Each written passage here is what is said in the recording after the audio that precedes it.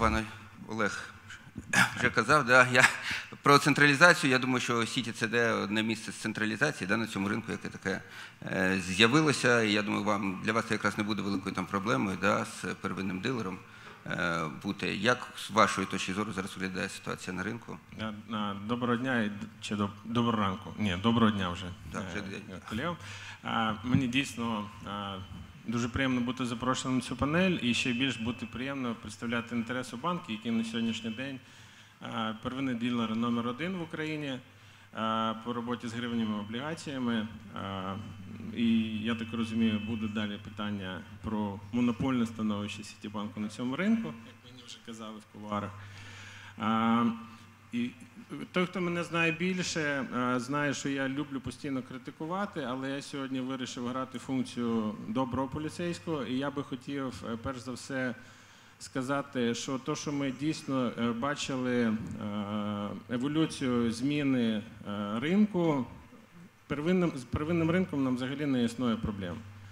Е, Зникла ця проблема, яку казав Юра, 300 ISIN ів, аукціони по 10 мільйонів і не створюють ліквідних е, бенчмаркових бондів на вторинному ринку, цього вже не існує. Повністю є consistency, постійно проходять аукціони, є комунікація, е, обговорюється графік розміщення, приймаються до уваги побажання клієнтів. Ми бачимо діалог між первинними Міністерства фінансів, він на високому рівні. Мені здається, якщо б додали сюди в назву, що стримує розвиток вторинного ринку, я б тоді повністю був би погоджений з Олегом, що взагалі е, з первинним ринком проблем нету, е, нет, нема. А існує дійсно проблема з, з вторинним ринком. Да? Фаза, е, яка відбулася, акумуляція, це коли ми побачили е, дуже великий е, притік е, іноземних інвесторів, вони відкривали позиції. Да? Це природньо. From zero to hero. Нічого не було. Зараз вже майже 4 мільярди доларів. А 11% від цього боргу це гарна статистика. Але якщо відокремити борг, який належить Національному банку в портфелі, і який, скоріш за все, не буде виходити на ринок, якщо відокремити борг, який знаходиться на балансах державних банків, які не зовсім риночні випуски, з нашої точки зору, е, такого ринкового боргу в обороті напевно менше ніж 200 мільярдів гривень. І 100 мільярдів доларів це вже 50% ринку. Так? Е, Це і плюс, і мінус. З одні- з одної сторони, плюс того, що є велика довіра і є великий притік гравців, це е, створює можливості для країни, для уряду здешевшувати свою вартість запозичень.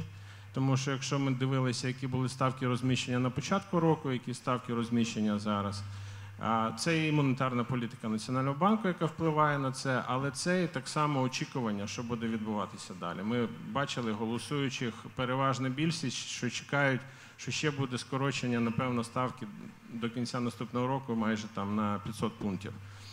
Це буде впливати на дохідності, це буде спотворювати зацікавленість е, подальшому інвестуванні. Буде 100 мільярдів чи 120 мільярдів, насправді це не принципово. Принципово інше. Якість і е, е, не концентрація, а диверсифікація гравців. На сьогоднішній день да, ми дійсно бачимо, це йдуть клієнти е, з різних географій. Це і Європа, це і Америка. Але е, по вторинному ринку, то що зараз відбувається, ми дуже активно працюємо на вторинному ринку. Ще не, немає того обсягу, який вже мав би, мав би бути на ринку е, з 4 мільярдами доларами позиції. Ті угоди, які зараз проходять, це може бути, я не знаю, від 100 мільйонів гривень до 300 мільйонів гривень. Це може бути одна угода на день, а може бути одна угода на тиждень. Що таке 10 мільйонів доларів на 4 мільярдів доларів можна порахувати на калькуляторі. Якщо порівняти з іншими географіями, наскільки там ліквідність вторинного ринку, той же самий, якщо взяти Єгипет, це вимірюється сотнями мільйонів доларів щодня. І тому е, я би звертав увагу, перш за все, на е, що стримує розвиток вторинного ринку. Саме основна проблема це його ліквідність вторинного ринку. А ті нерезиденти, які е, вже відкрили, зробили сетапи, які е, тримають свої бонди е, в Clearstream чи в якихось інших інструментах, Сіті випускає GDN і ці бумаги так само торгуються. Вони в принципі вже не дуже залежать від, як Олег казав, від ліквідності місцевого ринку. Вони вже можуть торгувати між собою. Але це, з моєї точки зору, е, price discovery і де має відбуватися е, ціни, воно е, більш за все е, повинно бути тут в Україні, на локальному ринку. І локальні гравці, а на сьогоднішній день, якщо подивитися на профіль е, гравців, це переважно е, українські банки, це е, компанії торговці, е, компанія ICU е, дуже активна на цьому ринку. Ми не бачимо більш інших, то що називається інституційних гравців чи е, е, тих же самих страхових компаній чи пенсійних фондів, які були б зацікавлені е, інвестувати в, в ці папери. Тому обмежена присутність локальних гравців чисто місцевими банками, які залежать від тих лімітів і ризиків, які їм там встановлюють е, системи ризик менеджменту.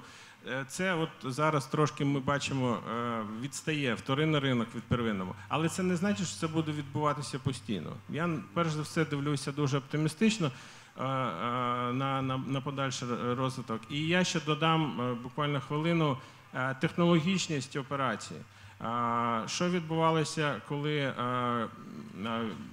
ринок, міжбанківський валютний ринок перейшов е, з, з, од- з одного способу торгівлі, коли банки бігали один до одного там по 20 е, разів за одну хвилину і просили ціну. І коли зараз банки вже бачать е, на, на скріні котирування, по якому їм зараз без бід, без офер, по якому вони можуть провести операцію.